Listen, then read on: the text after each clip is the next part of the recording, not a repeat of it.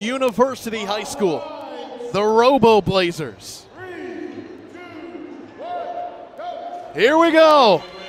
Autonomous modes. Watch the cargo fly. It should be probably the biggest autonomous mode we've seen for these two teams. A lot really of cargo go. going in, yeah. Yeah. Oh, Human 829 shot will go last in. shot, and it bounces in. How about that? 30 to 22 in favor of the Red Alliance. That's the number one seed. Brownsburg, Purdue Polytechnic, and Munster. The Blue Alliance, the three seed. Teams from Columbus, Warren Central, and University. So Red came out of that with a really nice lead. Blue missed a few shots on their autonomous. They usually get higher points than that. Long way to go, though.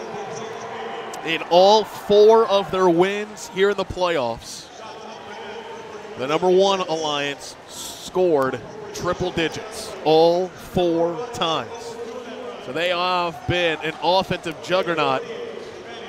Right now, with a minute and a half to go, they lead by 20, 48 28. Yeah, 31-76 has just been a shooting machine this weekend. They really upped their game. And they joined with Super Duper, who's been a shooting machine all year long. It's a tough, a tough thing to beat. One more cargo goes in for the Red. They now lead by 20, closing in on a minute to go. Here in final number one, the one seed and the three seed playing for a state championship. Blue shooting. a Oh, little one short. robot goes over.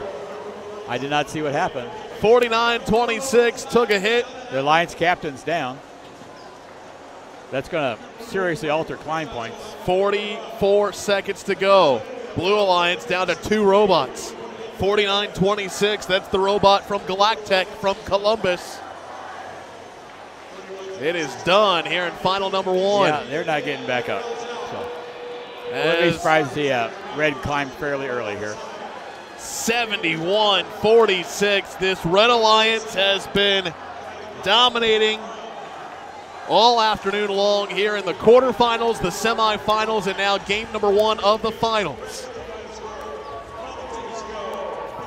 829 going for the is up. top. It's not going to do them a lot of good, but get some points. There's only 23 points, but that's a lot with two Final robots. seconds, and it looks like this is going to be a win for the Red in final number one. Again, it's best of three.